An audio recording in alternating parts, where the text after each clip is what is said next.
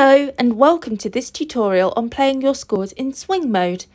With PlayScore 2 on iOS or Android, you can now play back your music with the swing feature, which is really helpful if you're learning or arranging music like jazz, or even some classical repertoire like French Baroque music, which is well known for its dotted rhythms, also known as inégale. So let's get started. First of all, open up or copy over a score in PlayScore 2. If you don't know how to do this yet, go to our blog or the recommended videos that will come up now. I'm using an extract from a suite by Hotteterre. To play your music in swing mode, tap the cogwheel logo at the top of your screen, wait for PlayScore to make the necessary changes, and then you can play back your score to hear the swing added.